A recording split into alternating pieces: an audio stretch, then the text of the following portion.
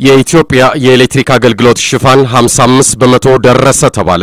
የኢትዮጵያ ኤሌክትሪክ ኃይል አስታወቀ እንደተባለው ከሆነ የአገሪቱ ኤሌክትሪክ ኃይል አገልግሎት ሽፋን ወደ 55 በመቶ መድረሱ ተነግሯል። የድርጅቱ የሕዝብ ግንኙነት አቶ ምስክር ነጋሽ አገሪቱ አሁን ላይ እስከ 2313 ሜጋዋት የኤሌክትሪክ ኃይል ምርት እንዳላት የተናገሩ ሲሆን ይህም የአገሪቱን ሽፋን 55 በመቶ እንዳደረሰው ተናግረዋል።